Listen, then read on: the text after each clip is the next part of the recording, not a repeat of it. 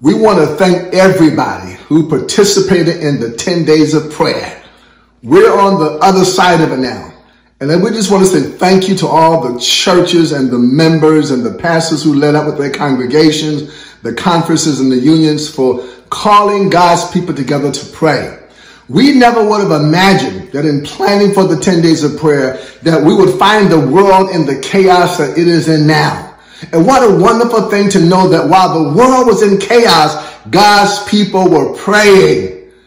And not only were we praying, but we were really seeking God, trusting that God is going to come through for us. And you know, before the 10 days of prayer started, God was already on the job. For the Bible says in Isaiah chapter 65 verse 24 that, and it shall come to pass that before we call, he will answer. And while we're still speaking, he will hear.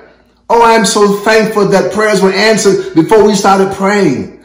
So continue to pray. Don't think that because the 10 days are over, that, that is over. It's never over. There, there's never a benediction to the end of prayer. no, no.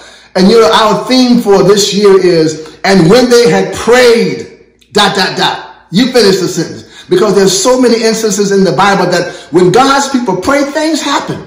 And we ought to expect for God to come through for his people. So we have prayed now, we've celebrated, but let's continue to pray now. Let's actually pray more now than ever before.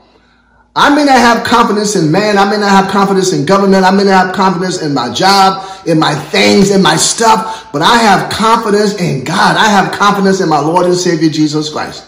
And I leave you with this blessing, and it's found in the Lord's Prayer in Matthew chapter 6. You know, the, the last part of verse 13 says, For you are the, the, the, the, the kingdom, the power, and the glory. That's the benediction part of the Lord's Prayer. You did know that the Lord's Prayer comes in three parts, right? Invocation, intercession, and benediction. That's the benediction. For you are the kingdom, you are the power, and you are the glory. And between kingdom and glory is power. So we thank God that he's blessing us with power now and, uh, and, and as we come to the kingdom to celebrate his glory. Oh, yes, hallelujah. And as we end this 10 days of prayer, we don't end our prayer experience with God. Let us continue to seek God like we've never sought him before. And until next year, there's a whole lot of praying between now and then. Our world needs our prayers. Let us pray without ceasing like we've never prayed before. God bless you, everybody. Thank you for your prayers.